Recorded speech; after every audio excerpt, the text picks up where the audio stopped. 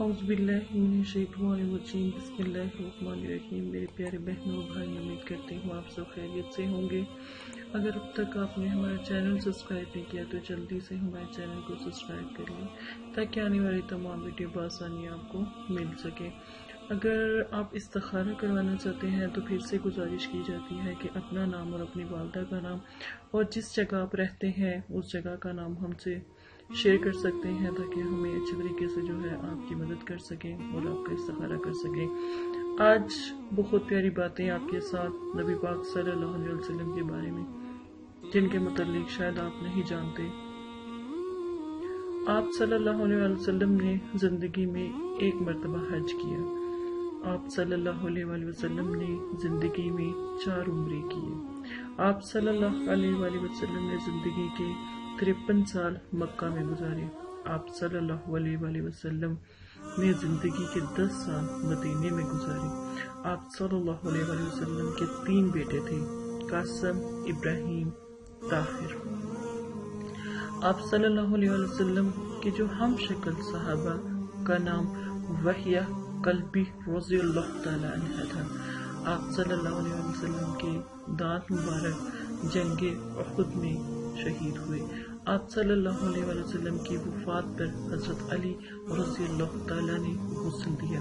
آپ صلی اللہ علیہ وسلم کی تدفین کے لیے حضرت ابی طلحہ رضی اللہ تعالیٰ عنہ نے قبر کھدائی کی۔ یہ نبی پاک صلی اللہ علیہ وسلم کے بارے میں کچھ اہم معلومات جو مجھے بہت پسند تھی، تو میں نے آپ کے ساتھ شیئر کی۔ امید کرتی ہوں آپ اور لوگوں کے ساتھ بھی شیئر کریں گے۔ آج کے سب سے پیارے وظائف کی طرح چلتے ہیں۔ بہت پیارا وظیفہ ہے، امید کرتی ہوں آپ کو پسند آئے گا۔ اگر آپ چاہتے ہیں کہ کوئی آپ کا پیارا آپ سے روٹ گیا ہو اور ناراض ہو اور وہ مان جائے، تو آپ اس وظیفے سے مدد لے سکتے ہیں، جو آج میں آپ کو بتاؤں گی۔ بہت پیارا وظیفہ ہے۔ امید کرتی ہوں آپ کو پسند بھی آئے گا اور انشاءاللہ اس سے ایک فائدہ یہ ہوگا کہ آپ کا جو پیارا آپ سے دور ہے وہ انشاءاللہ الحمدللہ آپ کے پاس بھی آ جائے گا اور وہ مان بھی جائے گا۔ یہ وظیفہ ان لوگوں کے لیے جو ان سے دور ہیں یا جو ملک سے باہر ہیں، یا وہ آ نہیں سکتے یا آپسی محبت کو بڑھانے کے لیے یہ وظیفہ کیا جا سکتا ہے۔ خواتین اپنے اگر ہسبینڈ ہیں، وہ دور ہیں تو ان کے لیے کر سکتی ہیں۔ اور اگر ان کے ہسبینڈ پاس ہیں تو تب بھی کر سکتی ہیں۔ اگر بھائی لوگ ہیں یہ تو وہ اپنی بیویوں کے لیے کر سکتے ہیں یا اپنے کسی عزیز و قارب کے لیے کر سکتے ہیں۔ یہ وظیفہ ہر طرح سے لیکن ناجائز اس کا استعمال نہ کیجیے گا ورنہ پھر گناہ ہوگا۔ بہت پیارا وظیفہ ہے، آیت الکرسی کا وظیفہ ہے۔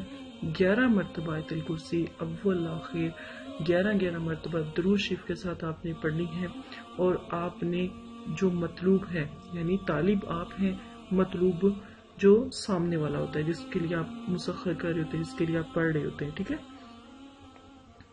جو مطلوب کا تصور آپ نے جو ہے، آپ اپنی آنکھوں میں بھی بنا سکتے ہو، اگر آپ کو اس کا چہرہ یاد ہے تو وہ اگر آپ اس کی تصویر ہے تو تصویر پہ آپ دم نہیں کریں گے، آپ تصویر کو ایک دفعہ دیکھ لیں۔ اور اس کا تصور بنا لیں، ٹھیک ہے؟ اور آپ نے کیا کرنا ہے؟ تصور میں پڑھائی کر کے روزانہ رات کو سونے سے پہلے آپ فضا میں یعنی ہوا میں پھونک مار دیں اور اپنے چہرے پہ بھی پھونک مار لیں، ہاتھوں پہ دم کر کے اپنے چہرے کے اوپر جو ہے، آپ نے دم کر لینا، اپنے ہاتھوں کو پھیر لینا ہے اور آپ نے سو جانا ہے۔ ٹھیک ہے، آپ نے سو جانے کے بعد آپ یقین کریں، ایک تو پہلے وہ آپ کو خواب میں ملنے آئیں گے اور ایسے ہی ہوگا، بالکل ریل مل رہے ہیں۔ ٹھیک ہے، آپ نے آخر میں دعا کرنی ہے، نام لے کے دعا کرنی ہے تو وہ خواب میں آپ سے ملنے آئیں گے۔ اس کے بعد آپ کے آس پاس بھی وہ جیسے ہی ان کو ٹائم ملے گا، یا تو آپ کو کال کریں گے یا پھر آپ سے ملنے کے لیے آ جائیں گے۔ ٹھیک ہے۔ اور دلی محبت اتنی زیادہ ہو جائے گی کہ آپ کی سوچ ہے، گیارہ دن کا وظیفہ ہے۔ اس وظیفے کو گیارہ گیارہ کے نام سے جو ہے محبت یا چاہت یا مسخر یا پھر آپسی محبت، میاں بیوی کی محبت کے لیے بھی کیا جا سکتا ہے۔ ٹھیک ہے، اس کو گیارہ آیت الکرسی، گیارہ مرتبہ رات کو سونے سے پہلے گیارہ دن تک آپ کم از کم کریں۔ یقین مانے اگر اچھے طریقے سے وظیفہ کیا ہوگا تو وہ گیارہ دن کے اندر اندر مطلوب جو ہے حاضر ہو جائے گا۔ انشاءاللہ اپنا اگر اب تک آپ نے ہمارا چینل سبسکرائب نہیں کیا تو جلدی سے اپنی بہن کے چینل کو سبسکرائب کر لیں تاکہ آنے والی تمام ویڈیو بآسانی آپ کو مل سکے۔ آپ کو کوئی بھی مسئلہ ہے، جادو، جنات اسیب کسی بھی قسم کا مسئلہ ہے، گھر میں کسی بھی قسم کی پریشانی ہے، رشتوں کی پریشانی، رزق کی بندی، کاروباری پریشانی، کاروباری بندش، باہر جانے کا مسئلہ، باہر جانے کی بندش یا کسی بھی قسم کا گھریلو جھگڑا، پریشانی ایون طلاق تک کا مسئلہ ہو تو اپنی اس بہن کو یاد کریں اور چینل پہ آ کے ہمارے یا فیس بک پہ آ کے ہم سے بات کریں، میں انشاءاللہ آپ کی بھرپور مدد کروں گی۔ کسی بھی قسم کا جھگڑا ہے، کسی بھی قسم کی شادی کا مسئلہ ہے، بچوں کی شادی کا، پیار کا، محبت کا، کسی بھی قسم کا، اپنے پیاروں کو پانے کا، کسی بھی قسم کا مسئلہ ہے، اپنی اس بہن کو یاد کریں، انشاءاللہ آپ کی بھرپور مدد کی جائے گی۔ اور احادیث کو پھیلائیں۔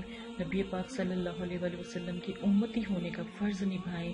اگر آپ کو حدیث سنتے ہیں اور اس کو آگے بھیج دیتے ہیں، اس سے ہو سکتا ہے کہ آپ کی پوری نسلیں سبر جائیں۔ آپ کی آل اولاد اور آنے والی نسلیں اس حدیث کا فائدہ اٹھا سکتی ہیں۔